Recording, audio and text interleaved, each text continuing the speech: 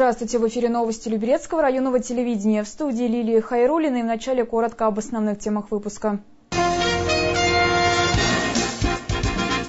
Пять спортивных залов, три компьютерных класса и зал для лекций. В седьмом-восьмом микрорайоне завершается строительство новой школы. Кандидат на пост главы Краскова определен. Представители Люберецкого местного отделения партии «Единая Россия» выбрали своего представителя. 127 машиномест. На 22-м километре Новорязанского шоссе открылась стоянка для большегрузного транспорта. Теперь обо всем этом более подробно. В администрации города Люберцы прошло очередное заседание по проблемам 7-8 микрорайона. На нем участники встречи обсудили строительство социальных объектов, проблемы электроснабжения и благоустройства. Подробности у нашего корреспондента. По-прежнему главной проблемой в новом микрорайоне остается строительство социальных объектов. Что касается возведения школы, то по заверению заместителя начальника управления строительства, работы там идут полным ходом, в отличие от строительства поликлиники. Там рабочие не успевают уложиться в заданный срок. Часть работ уже сделана, э, но, к сожалению, пока только эти работы ведутся. Остальные, значит, ни фасадные, ни кровельные работы пока не начаты. Основная задача, я вижу сейчас по поликлинике, это подготовить ее к зиме, закрыть контур, чтобы можно было зимой делать э, нормальную отделку. Продолжила тему строительства и реконструкции детских садов заведующая дошкольным учреждением «Белоснежка», которая вновь обратилась к представителям администрации с просьбой ускорить на объекте возведение пожарных лестниц, без которых невозможно получить документы, необходимые для ввода заведения в эксплуатацию. А ведь до открытия остается все меньше времени. 1 сентября новый детский сад должен распахнуть свои двери для малышей. Благоустройство может быть завершено после окончания работ, связанных с лестницами меня желание открыться большое. Потому что уже 1 сентября не за горами, полторы недели, полторы, полтора месяца. Полтора месяца это, грубо говоря, шесть недель, как раз э, монтаж этих лестниц. Обсудили участники встречи ситуацию прорыва газопровода у дома номер 16 по Комсомольскому проспекту. Авария произошла в пятницу в результате выполнения строительных работ компании «Пик Комфорт» и была устранена на следующий день. Первый заместитель главы администрации города Люберцы Александр Алешин обратил внимание присутствующих на то, что подобные повреждения не первый раз происходят в 7-8 микрорайоне. А это может повлечь за собой не только отключение электроснабжения, но и привести к чрезвычайным ситуациям, что ставит под угрозу безопасность люберчан. Кстати, сами жители также присутствовали на заседании. Представители Дома управления обратились с просьбой решить проблему, возникшую вследствие прорыва канализации. Мы ходили к ПИКам, обращались. Вот вчера Бронислав Казимирович к нам приезжал. То есть поставили машину. Пока была комиссия, она работала. Как только комиссия уехала, машина прекратила работать. Управляющая компания «Союз Люберцы» дано указание устранить причины аварии, при помощи откачивающей техники привести в порядок подвал дома. Кристина Моносарян, Дмитрий Куликов, Валентин Говоров, Люберецкое районное телевидение. И в продолжении темы. В седьмом-восьмом микрорайоне завершаются работы по строительству новой школы. В трех корпусах полным ходом идут отделочные и монтажные работы. Уже совсем скоро в учреждении начнется комплектование классов оборудованием и инвентарем. Все подробности далее. Все классы в этой школе будут оснащены интерактивными досками и компьютерами. Также для учащихся создадут современные комфортные условия для занятий физической подготовкой. Здесь пять спортивных залов. Ввиду того, что администрация учреждения планирует сотрудничать с Государственной медицинской академией. К услугам школьников и лекционная аудитория, где ребята будут получать необходимые знания по специализации. Здесь будут э, вести занятия преподаватели из Академии медицинской – и чтобы создать условия близкие к институтским, э, в школе будет оборудована так называемая аудитория э, вместимостью до двух-трех классов одновременно, где будут проходить факультативные занятия с преподавателями высшего учебного заведения. В новой школе предусмотрено все для создания доступной среды для учащихся с ограниченными возможностями. Для них есть лифт, на котором они будут перемещаться по этажам. Это лифты, которые должны помочь э, детям, инвалидам, колясочникам, если таковые будут в этой школе э, заниматься здесь по полной программе. Э, не так, как во всех остальных школах у нас предусмотрен пандус, и ребенок может заехать только на первый этаж. Здесь все этажи снабжены туалетами для инвалидов, э, все двери позволяют заехать ребенку на коляске в любое помещение. Что касается отделочных работ, то строители обещают завершить их в течение двух недель. И уже 15 июля планируют завести всю необходимую мебель и оборудование, чтобы укомплектовать ими помещение. Также в ближайших планах благоустройство территории школы. Лилия Хайрулина, Олег Лобанов, Люберецкое районное телевидение.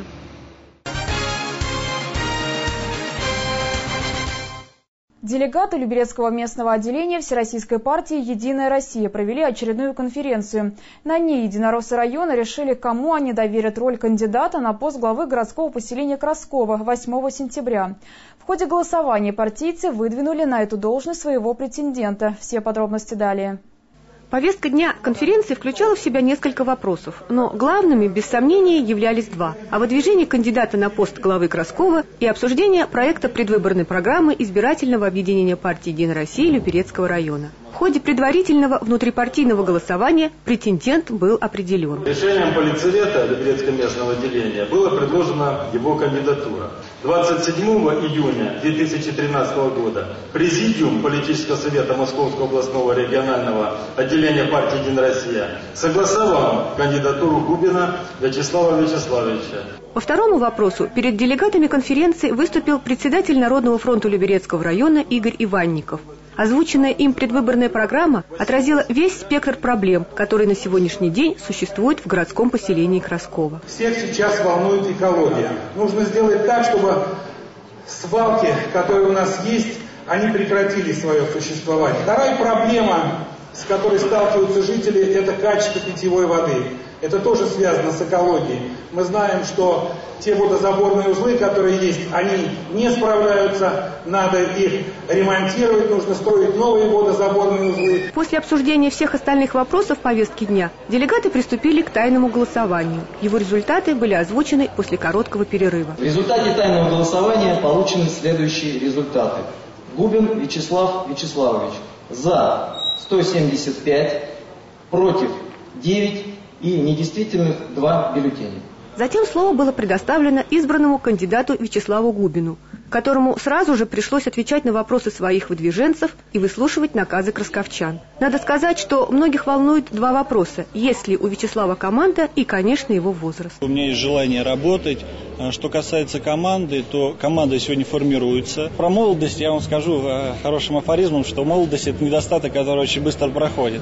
Поэтому, когда разговор заходит о возрасте, всегда получается или слишком рано, или слишком поздно. Что же касается груза, то я чувствую все силы, я понимаю, как работает и исполнительная власть, и законодательная власть. Поэтому я думаю, все будет хорошо. Впрочем, молодость не пугает и Владимира Ружицкого, который полностью поддерживает выбор партийцев и собирается помогать Вячеславу Губину в работе в случае его избрания на пост главы администрации поселка. Конечно, парень молодой но в этом плане, э, как правило, молодые люди, они амбициозны, им хочется делать то, что другие не делают. И я надеюсь, что в этом плане э, может что-то получиться. И я почему-то, мне хочется, чтобы у него получилось. Политическая кредо молодого кандидата – честность и справедливость. Это как раз те качества, которых так порой не хватает современным российским политикам и хозяйственникам. Ольга Щевелева, Валентин Говоров, Люберецкое районное телевидение. Сейчас прервемся и продолжим наш выпуск сразу после короткой рекламы на ЛРТ.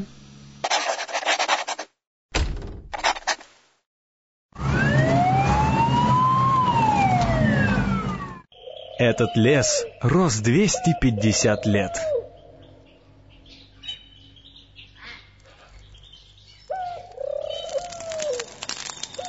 За два часа он выгорел полностью. Не оставляйте без присмотра костры. Не бросайте незатушенные окурки. Не жгите мусор и траву. Мы должны защитить лес от беды. При пожаре звоните в единую службу спасения по телефону 01. Мобильная связь 112.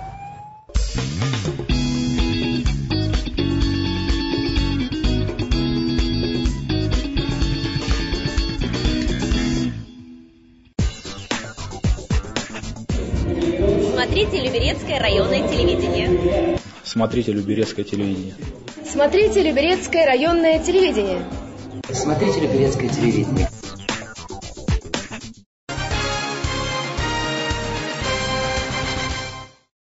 Вы смотрите новости Люберецкого районного телевидения, и мы продолжаем эфир. В Люберецком районе на днях заработала стоянка для большегрузных автомобилей. Подобные парковки сейчас строятся по всей Московской области. Их возведение началось после принятия закона, запрещающего движение транспорта в пределах МКАДа с 6 утра до 10 вечера. В мероприятии принял участие глава Люберецкого района Владимир Ужицкий. Все подробности далее. На данный момент стоянка рассчитана на 127 машиномест, но в дальнейшем ее планируется значительно расширить. По подсчетам Министерства транспорта Московской области, подобные парковки должны вмещать в себя от 200 до 350 грузовиков. Помимо этого, планируется улучшить условия комфортного отдыха дальнобойщиков. Многие же из наших э, сегодня жителей побывали в Европе, э, видят, как там это все сделано. Это все обустроено, потому что я оцениваю, что здесь должна быть какой должен быть какой-то кемпинг или гостиница небольшая, какой-то отель. Здесь э, что-то должно быть в плане общепита, что человек э, приехал, он должен где-то поселиться, и какое-то питание, и, возможно, какая-то небольшая э, ну, ремонтная база. На мероприятии были вручены благодарственные грамоты от имени главы Люберецкого района, генеральным директорам частных компаний, на средства которых и была построена стоянка. Вообще все парковки, которые появляются в Московской области, всего их будет 10, инвестированы частными лицами. Первую неделю в тестовом режиме парковка будет работать бесплатно, однако в дальнейшем за въезд придется заплатить 300 рублей. Сумма не маленькая, но тем не менее стоянка обойдется дешевле, чем штраф, который придется заплатить водителю за парковку на обочине. В ближайшее время он повысится и составит полторы тысячи рублей. Установлены знаки, повышены штрафы, информированы ГИБДД и в конце концов э, восторжествует порядок и цивилизация в Московской области и водители перестанут стоять по тем или иным причинам по дорогам Москвы. Парковок была открыта на Ленинградском шоссе. Вторая в Люберецком районе, на 22-м километре Новорязанского шоссе. По словам инвесторов, основными ее клиентами станут частные транзитные большегрузы однодневки. Кристина Моносарян, Дмитрий Куликов, Люберецкое районное телевидение. Депутат Совета депутатов Владимир Криворучко провел встречу с жителями дома номер 20 по улице Побратимов. На встрече народный избранник рассказал о проделанной работе, а также о дальнейших планах по благоустройству округа. Все подробности далее. На встрече избирателей округа с Владимиром Криворучко, которая прошла на только что построенной за счет городского бюджета детской площадке, затронули многие темы. В первую очередь депутат рассказал о том, как и с какими целями создавалась эта игровая зона. Все депутаты нацелены на то, чтобы создать в городе Люберцы для детей как можно больше таких мест, где бы они могли э, э, заниматься вот, на снарядах, играться на детских площадках, вот, чтобы было приятно как детям, так и жителям города Люберца. Также депутат поделился планами на будущее. Помимо ремонта дорог и установки изгороди, а также новых спортивно-игровых площадок, Владимир Криворучко заверил, что на ближайшем заседании Совета депутатов намерен поднять вопрос строительства бассейна, которого давно ждут жители. Я думаю, что мы начнем строительство и бассейна, который находится пока в плачевном состоянии, только э, изгородь уже года два-три. Жители района поблагодарили Владимира Криворучко за его активную деятельность по благоустройству улиц и дворов, однако отметили, что работа еще не закончена и остались некоторые проблемы, требующие решения. У нас вечером скапливается более 50 машин по всему, по всему дому, вдоль всего дома, на площадке потому что у нас не заасфальтирована дорога, нет бордюра высокого, и машины заезжают куда угодно. Встреча оказалась полезной как для Владимира Криворучка, так и для самих жителей. Горожане узнали о грядущих мероприятиях по улучшению городской инфраструктуры, а депутат услышал все их просьбы и пообещал исполнить их в самое ближайшее время. Сергей Филиппов, Дмитрий Куликов, Либерецкое районное телевидение.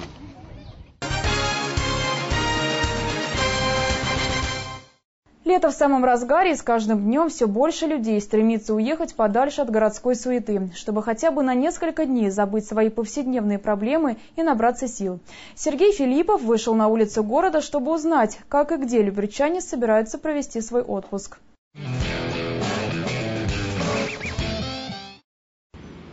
Где отдыхают либерчане? Предпочитают ли они нежиться на пляжах Испании и Турции?